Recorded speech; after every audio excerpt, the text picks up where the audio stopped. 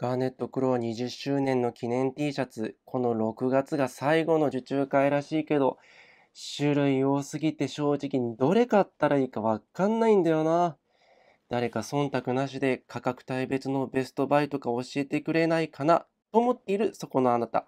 今回私がこのように実験代となりまして総額13万3500円払って全方購入してみました。その上で分かった価格帯別ベストバイを紹介してみたいと思っています。あと少しだけ公式さんに向けて今後の要望なんかも少し伝えていければいいかなというふうに思っています。これを最後まで見れば20周年記念 T シャツ丸分かりです。はい。では早速行ってみましょう。まず3800円のアイテムです。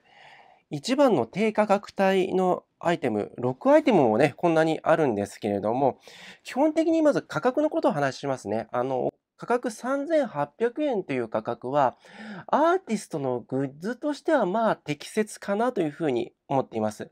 確かに T シャツ単体とするとちょっと高いかなと思うかもしれませんけれども、生地自体は、あの、すごく高級感があるというわけではないんですが、全部コットン100%になってまして、えー、そんなに安っぽい感じはしません。えー、しっかり、えー、してます。えそして、この襟のところ、分かりますかね？ちゃんとこの、えっ、と、ガーネットクローの20周年記念のタグが全部入っているんです。この価格帯に限らず入ってます。ですので、こういうところもね、あの、いいところかなというふうに思います。これあの、もともとついてたメーカーのタグを切って、その上からさらにこれ縫い付けるっていうことをやってるので、あの、コストとしては上がるんですよね。こういうところの仕事というのは、あの、着る側としては、あの、着るときに今日着ていくぞっていうテンションがちょっと上がるので、いいところかなというふうに思っています。それでは早速マストバイ先に行っちゃいますけれども、あの、この全曲タイトル T 黒、です。あの、買ったもの全部 L です。言い忘れてましたけど、全部 L 型で、えー、買っています。記念だし、何か1枚買っとくかって思ってる人は、まずこれ買った方がいいと思います。この生地の感じとしては、こう触ってみると、ちょっとだけこのプリントのところが少し若干厚みがあるかなっていう感じです。あの、いかにもプリントして貼っつけてありますっていう感じの風合いではないんですが、ちょっと少しこの印刷のところはしっかりしているかなっていう感じですね。で、全体があのちゃんとあの黒で統一されてます。ちょっとここに、ええ色が入ってきてはいるんですけれども、基本的にタックインしてしまうと、ここ見えなくなるんで、大丈夫だと思います。あの、重ね着しやすいと思います。まあ、この3800円の価格帯で言うと、まずこれかなというふうに思います。全曲タイトル T グラデの方もいいんですけれど、色が入ってくるので、着る時の難易度が若干こっちは上がるかなっていう感じです。なので、え、ー、と、この3800円のあ価格帯としてはこっちを私は押しています。で、その他の4アイテムに関しては、基本的にアラフォー世代が着るのはちょっと難しいかなというふうに思っています。例えばこれですね。あの名前が20周年ロゴ T 黒ゴールド白ですけれども、黒と金の色合わせで、これだけ正面にドーンと正面に来られてしまうと、ちょっとアラフォーとしては着づらいかなっていうのが正直なところです。やっぱり金って目立つんですよね。なので、胸元ワンポイントとかにしてくれればよかったのになっていうふうに、あの、私は思います。で、まあ、ライブ会場に着ていきます。オフ会に着ていきます。セッションの時にこれ着るんです。っていうことならいいと思うんですよ。あの、その TPO に合ってるので。ただ、ああ私どもの世代が待ち着として着ようと思うとかなり難しいかなっていうふうに思います。洗濯もちょっと気使わないといけないかなって気はしますね。あの、これ買ったばっかりなんですけれど、買ったばっかりでまだ洗濯はかけてない、着てない状態なんですけれど、カメラだと見づらいかもしれないんですが、ちょっとね、折れみたいなのが入ってきてるんですよね。ただでさえこの状況なので、洗濯かけちゃうと、ネットでも厳しいかなと思います。あの、洗濯するとしても、正直手洗いかなっていう感じがしますね。で、まあ、シルバーもね、同じことが言えるんですけど、まあ、こっちかこっちかどっちか着たいんだぞっていう人がいらっしゃったらまあどっちかかといえばこっちかなっていうふうに私は思います。それでもやっぱりね難しいですけどね。ちなみに、えー、このワンポイント刺繍 T 白ピンクになってます。いいとこ先言いますね。いいとこは刺繍自体がすごくね高級感あるんですよ。あのちゃんとあの見づらいかもしれないんですけどこう刺繍でこう盛り上がっている感じがして盛り上がってます実際あの刺繍でね。なのですごく高級感があります。であの着る時もあ今日はしっかりしたものを着るぞっていう感覚を生んでくれるので、こういうところはすごくいいところなんです。手が込んでる感じします。残念なのはどこかというと、裏地なんです。はい。えーで、これが裏地なんですけれども、わかりますかね？あの、こういう、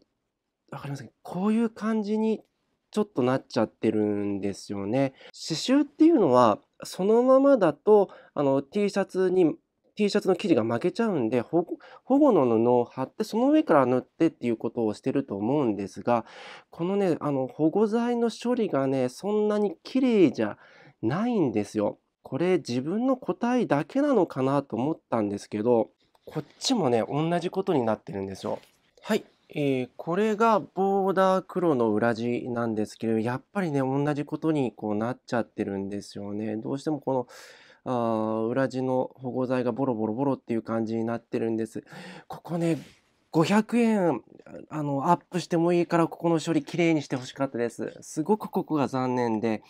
やっぱりね、着る時にね、ああ、やっぱり、うんって思っちゃうんで、こういうところがやっぱり、えー、自分としてはマイナスポイントかなというふうに思っています。というようなことを考えますと、私の評価としては、こちらの全曲タイトル T 黒をマストバイトさせていただきました。時点としては、えー、こちらですね、全曲タイトル T グラデか。こちらがマスト、こちらが時点ぐらいかなとというふうに思ってます。あとのこっちは正直私はもう袖は通さないと思います。この2つですね。ただ、これも、あの、安直にやっぱり着てそのまんま着てしまうとあアラフォーにやっぱり難しいというふうに思いますね。なんでかというとこのアルファベットがたくさん入っている T シャツっていうのはちょっとやぼったいって思ってる人もいるんですよね。なので単品で着るよりもやっぱり重ね着をした方が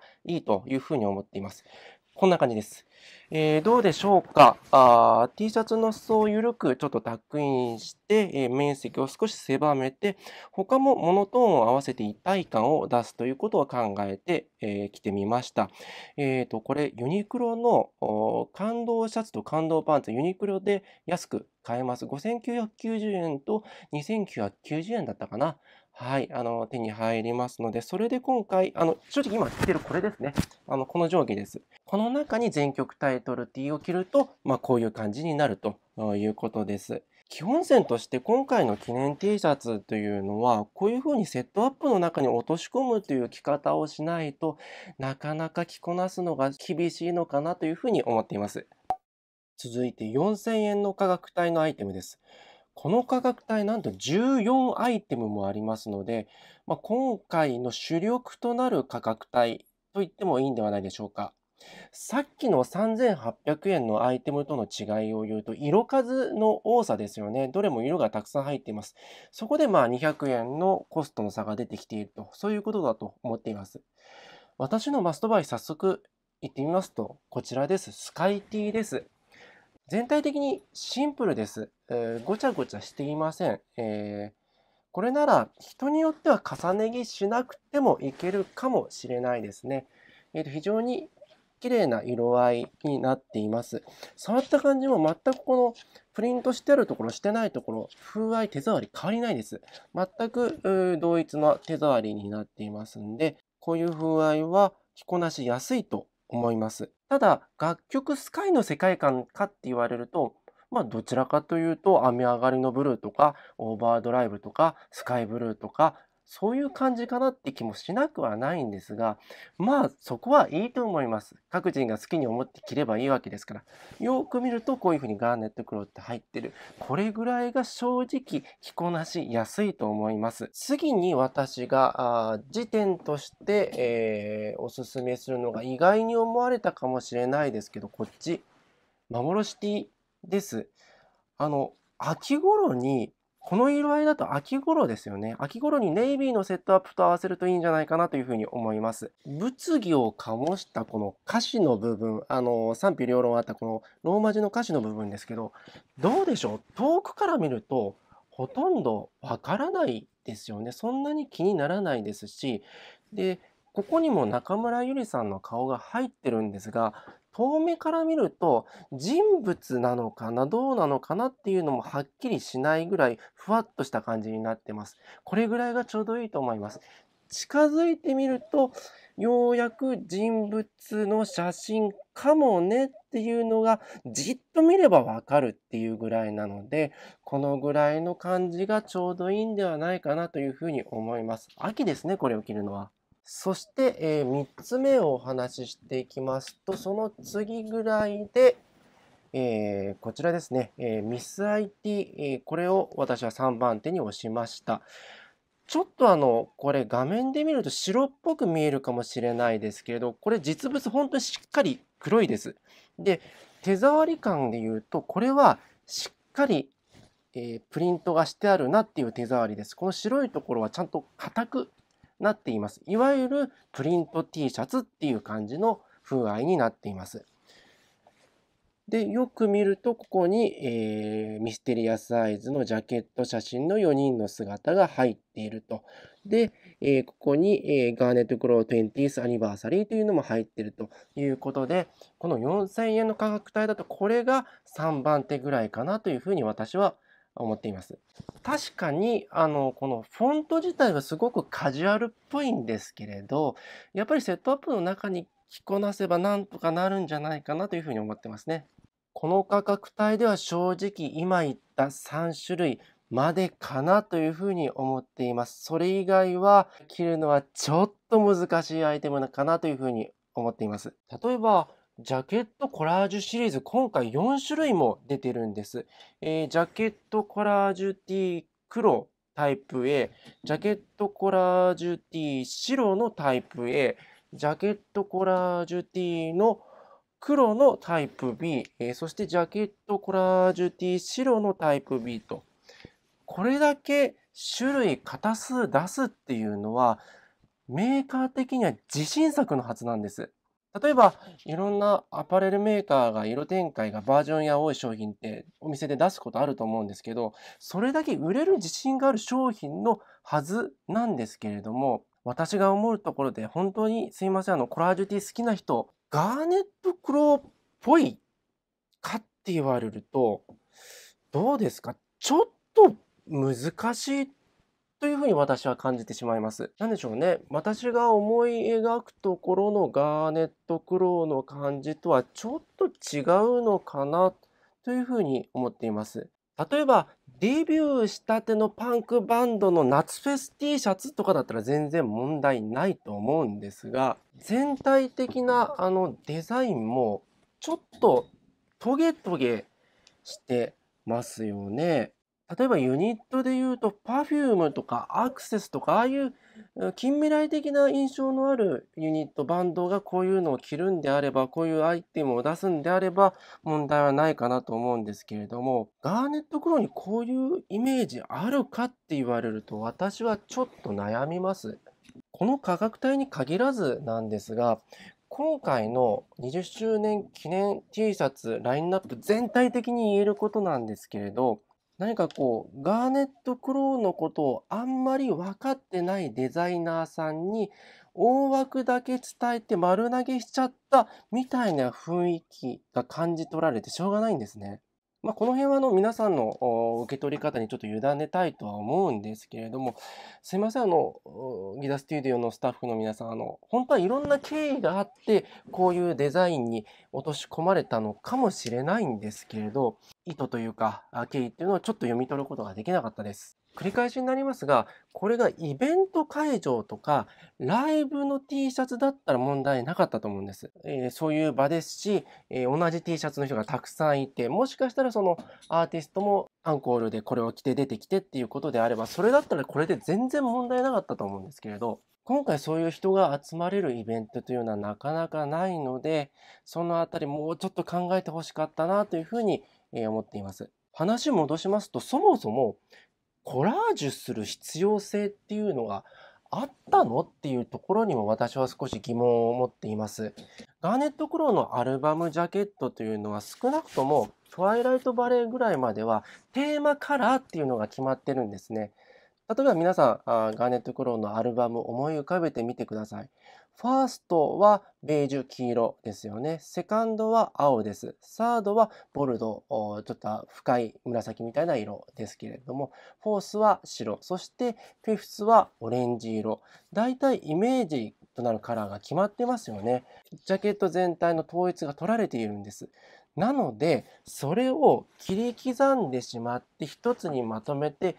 調和させるっていうのはすごく難しいはずなんですね。ただ、コラージュティー俺好きなんだよ、どれか着たいんだよっていう人がいらっしゃるんであれば、あえてどれかを選ぶんであれば、私だったらジャケットコラージュティー白タイプ B、こちらにします。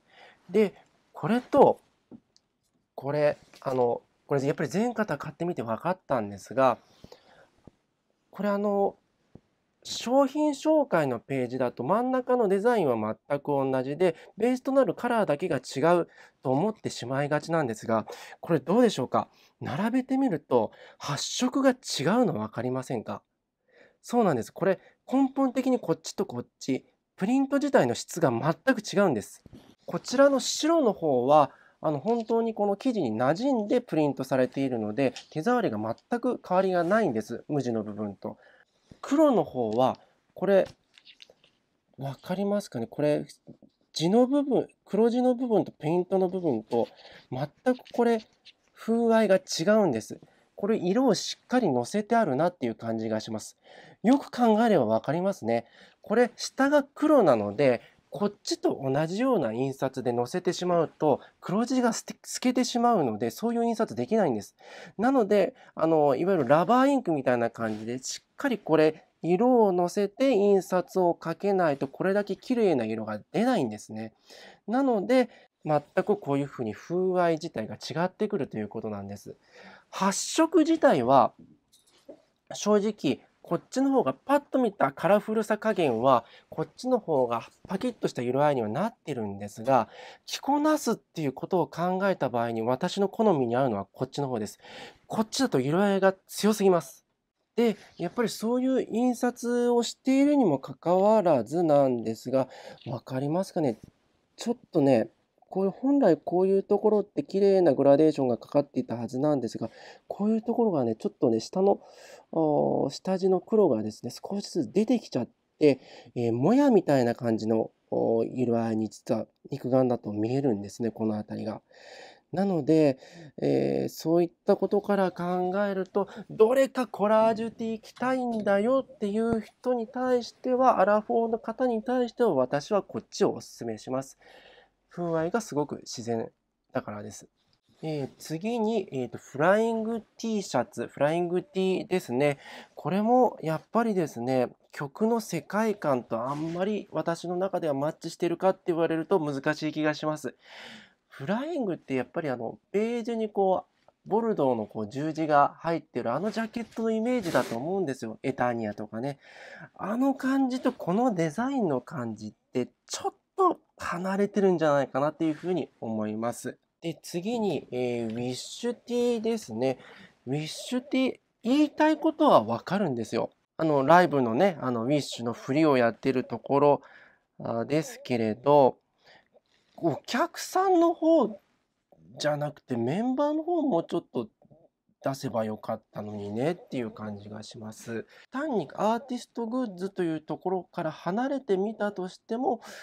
うーん、どうだろうという感じです。あの、風合いはいいんですけどね。ノラティに関しては、どうしてこの色にしちゃったのか私はデザイナーさんに聞いてみたいです。これもうちょっと落ち着いた色だったらよかったなと思います。例えば胸元にダークネイビーで猫のシルエットとサソリ座の星座ぐらいで十分だったんじゃないかなと思います。本当にこれ分かんない人から見たら猫の人になっちゃいますからね、これ着てったらね。で、次に夜更けの T ですけれど、まずデザイン言いましょうか。あの、メンバーが入ってるのはいいんですが、この虹色がね、やっぱ強すぎるかなっていう気はします。で、基本的にこのベースとなる T シャツ自体が今までのとはちょっと違って、これちょっとスリムなんですよね。首のところまず見てください。あの、首の縫い付けがこの線、この、なんて言いますかね、あのリブの部分っていうんでしょうか。ここはすごく短いですよね。で、首元も、これ、えー、夜更けの T ですけど、首元と肩幅もおそらくこっちの方が細いです。なので、えー、どちらかというと小柄な方にこっちの方が向いてるかもしれません。本当にサイドで見るとこれぐらい違いがあるんですよね。なので、こっちの方がまあ、ベースとなる T シャツとしては大人っぽいかもしれないんですけれど、ただやっぱりね、デザイン的にね、これ、モノクロだったらよかったのになっていう気がします。若い人が着るならこれ全然問題ないんですけどね。で、こっちのロケット T、これは本当にアラフォーは無理だと思います。今までと、まず型となる T シャツの話しますけど、今までのものとは全く違う型で作られています。ここの下のタグの部分、ここ自体がもう違う型のものだなっていう分かる感じになってます。えー、触った感じもすごく軽いですし、肩幅も狭いですし、袖のところも細いです。これ同じ L で買ってはいるんですけど、根本的にもう1サイズ、2サイズぐらい違う感じがします。で、2人のロケットで、この感じは私は正直デザインの感じあんまりマッチしてないというふうに私は思います。これを着れるのは正直20代前後ぐらいまでなのかなっていうふうに正直感じました。この首周りのリブの感じなんかはね、ちょっと大人っぽいので、いいかなとは思うんですけれども、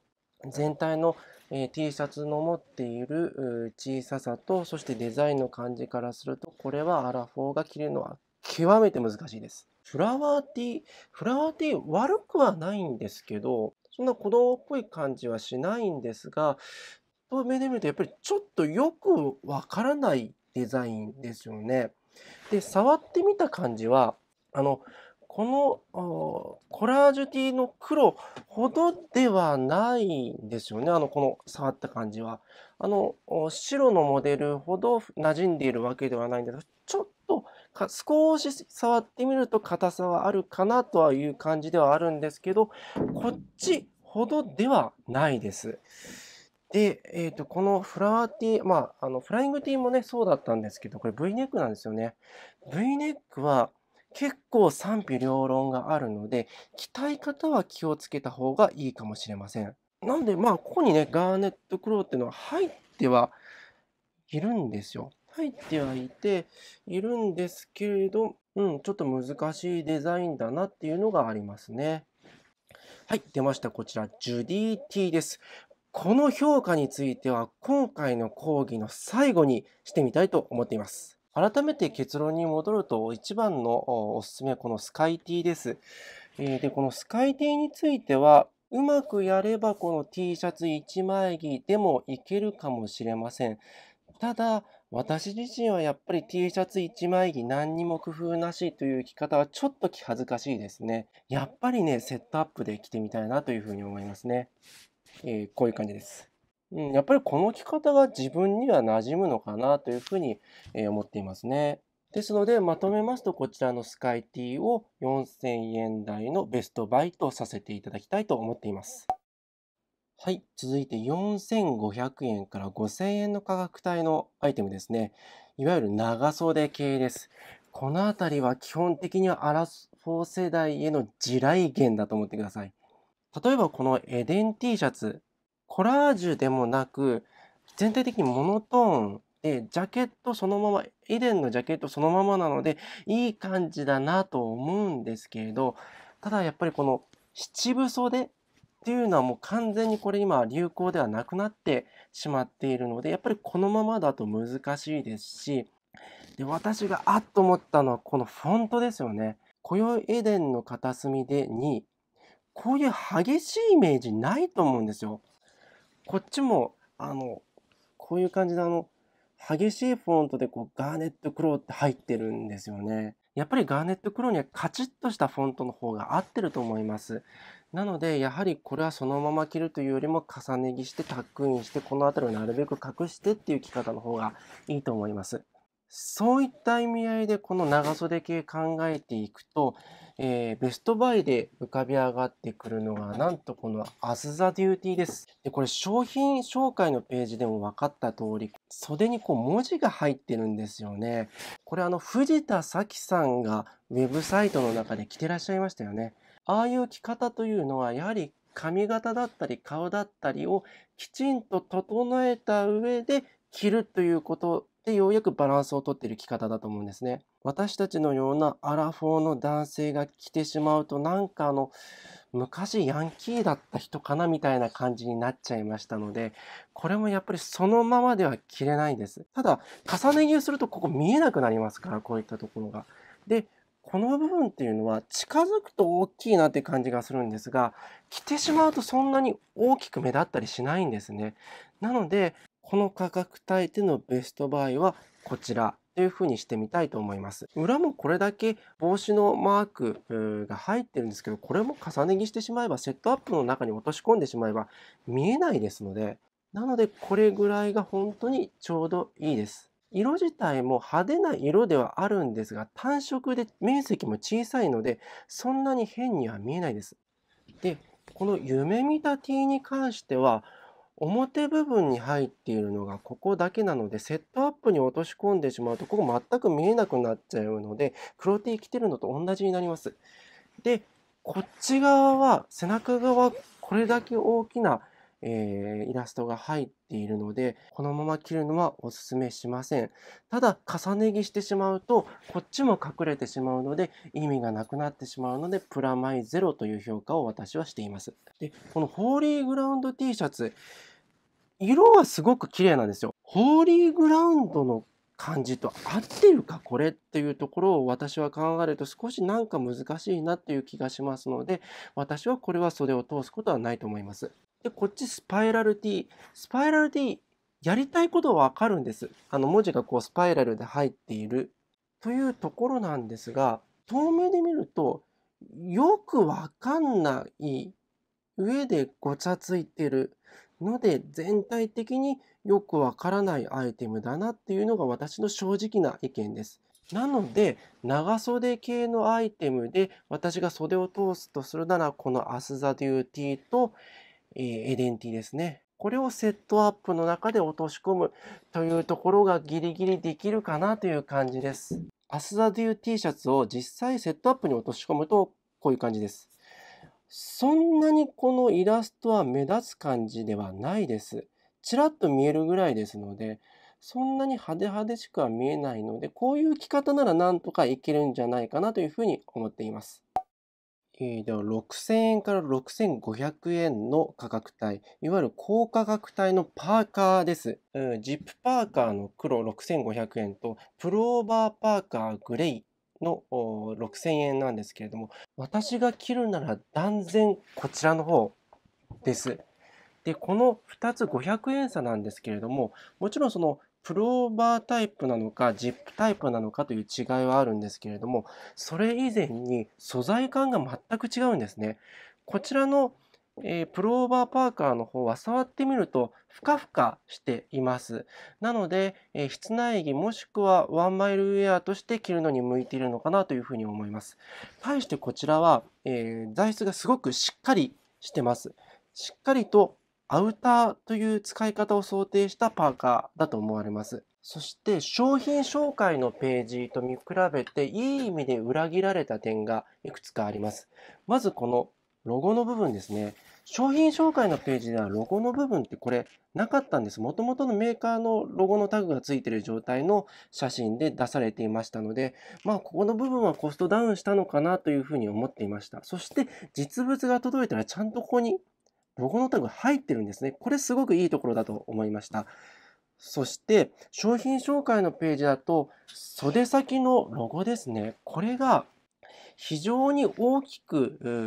指に近い、手に近いところに入っている印象を受けたんですけれども、実際届いたのを見てみるとどうでしょうか？どちらかというと、肘に近いところでそんなに大きくありません。なので、これもすごく着こなしやすいと思います。そして、胸の部分のロゴなんですけれども、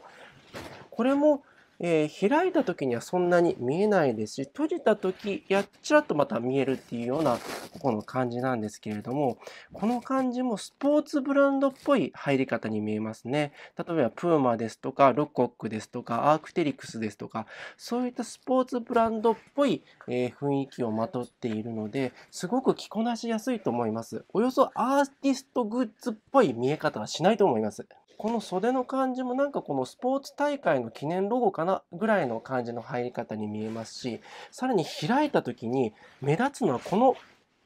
ジップのラインなんですね。あんまりこっちまで視線が集中しないえー、作りになっているのですごく着こなしやすいです。えー、全商品の中で1、2を争うぐらいのいい商品として私はこれ、えー、推しています。残念ながらこれ第2弾だけのあ限定商品でもうすでにソールドアウトになってるんですけれども、まあ、ちょっと変えるでもしていいので、これ本当に定番商品にしていいぐらいのアイテムじゃないかなというふうに思っています。こちらもプローバータイプもいいはいいな、いいはいいんですよ。現在のトレンド感からすると、どちらかというと、プルオーバーの方がトレンドのような気はするんですけれども、前面にこういうパーカー生地が出てしまうというよりも、重ね着を前提とした着方を想定した方を考えていくということになると、やっぱりこっちの方を押すというのが私の選択ですね。着こなしとしては、こんな感じです。どうでしょうか？中に着ているシャツはユニクロのスーパーノンアイロンシャツです。中のきれいめな感じ、大人っぽい感じを出すためにはこういう襟付きのものを中に着て、え前を開けて着るという着方がいいんではないでしょうか？もちろん閉じて着てみるのもいいと思います。どうでしょうか？袖のロゴもそんなに目立つ感じしないですよね。ちらっとワンポイントになってるというぐらいですので、すごく着こなしやすいアイテムかなというふうに思いますね。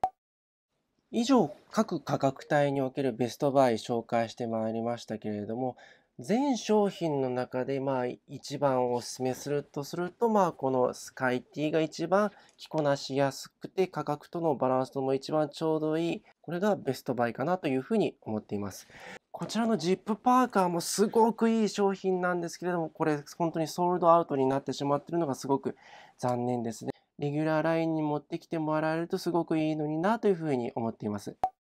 で、えー、評価残してましたこちらのジュディティですよね。どうしてもこれ着たいんだよっていう人いると思います。もうどうしても着たいっていう人はしょうがありません。コートを着てしまいましょう。えー、これユニクロのステンカラーコートです。2020年の年末に出たモデルですね。えー、色合いはネイビーです。全体をこのコートの印象、大人っぽいものの印象で印象づけて、中に少しマフラーを垂らしつつ、少しジュディティがちらっと見えるかな。これぐらいがギリだと思います。で、これユニクロのステンカラーコート XL ですね。ワンサイズ上げて、今オーバーサイズがトレンドになってますので、大きめに着ています。で、なるべくこのコートの面積を広くして相対的にこの T シャツの印象を小さくするというところも考えながら着ています。で、これ万が一脱いでしまうと、たとえ下がスラックスだったとしても大変悲惨なことになってしまいますので、どうしても着たいという方は上に大きめのコートなどを着ていただくしかもう方法がないんじゃないかなというふうに思います。以上、ガーネットクロー20周年のアイテムとその着こなし方について見ていきました。着こなしについて気をつける点は、まず全体をきれいめに整えてモノトーンに抑えるということです。今回の20周年記念 T シャツについては全てカジュアルの要素が非常に強いアイテムですので、その他のものも子供っぽくなってしまいますと、アラフォー世代とは合わない着こなしになってしまいます。え T シャツ以外のものをモノトーンでシンプルなもので整えて、なおかつ清潔感を出すというところが非常に大事になってくるんではないかなというふうに思っています。え私がよく着こなし方、参考にしてます方が2人いらっしゃいます。えまずこちら、本がありますけれども、MB さんという方です。最速でおしゃれに見せる方法という本を出してらっしゃいまして、この他にもたくさんの本を MB さん出してらっしゃるんですけれども、ここ10年のファッション指南本の中では一番売れた本がこの本です。そしてもう一方はこの大山俊さんという方ですね。服がめんどいという本です。えー、この方もですね、非常にロジックを明確にされながら、えファッションの指南をされていらっしゃる方です。えこのお二人のロジックを参考に私は、え服の着こなしを考えていっています。このお二人とも YouTube チャンネルされてますので、それらのチャンネルの動画非常によく勉強になりますのでご覧いただくのもいいかもしれません。ガーネットクロー20周年記念 T シャツ、この6月末に最後の受注会があるそうです。それに向けて皆様参考になりましたでしょうか？またお会いいたしましょう。